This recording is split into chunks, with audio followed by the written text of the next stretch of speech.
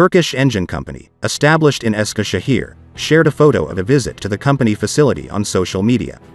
The image includes a mock-up of engine TF 6000 turbofan engine that could power up Turkish first project for a combat unmanned aircraft MIUS or Kizilelma.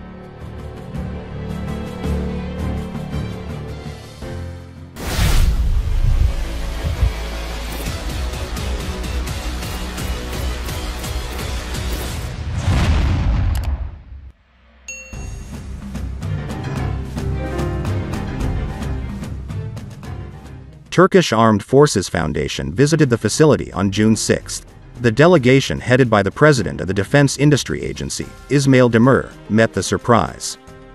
President of TEI and General Manager Mahmut F. Aksit presented the mock-up of the TEI TF 6000 turbofan engine.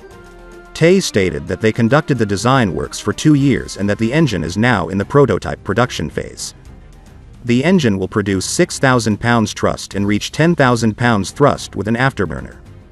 TEI stated that the motor could be used on air and naval platforms.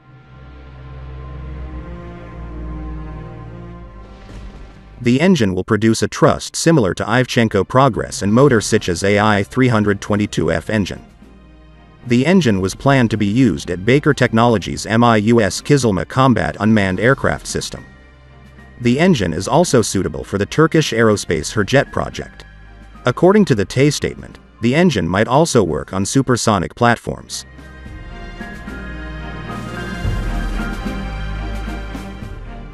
Baykar and Ivchenko Progress had signed in November 2021 at Saha Expo 2021. AI 322F turbofan engine supply and AI 25 TLT turbofan engine integration contracts. Baykar began working on MIUS in 2013. According to Baykar Chief of Technology Selçuk Bayraktar's comments, the platform will have an endurance of 5 hours. It will fly at an altitude of 40,000 feet. MIUS is expected to have a cruising speed of 0.8 Mach. MIUS will have a payload and missile capacity of close to 1.5 tons. It will be able to carry air-to-air, mini-smart ammunition, and cruise missiles and will be able to hold its missile at the inner bay to reduce its radar cross-section.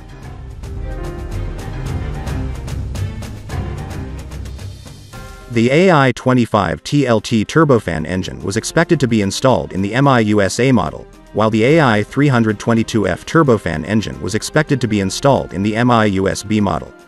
TEI has an engine surprise for Kizilelma.